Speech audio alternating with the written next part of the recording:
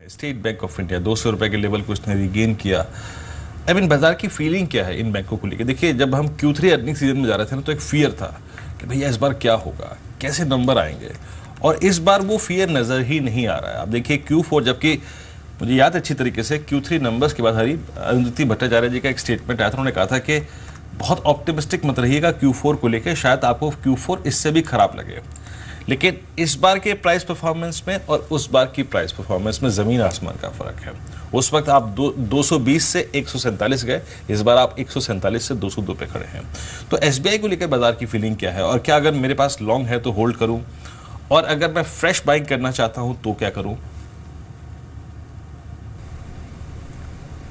देखिए मैं मानता हूँ यदि आप एस बी पे लॉन्ग है तो होल्ड कर सकते हैं क्योंकि आ, मेरा मेरा ब्रॉड जो मानना है बैंकिंग पी एस बैंक्स के बारे में आ, मेरे एक्चुअली दो ब्रॉड एजम्पन्स है।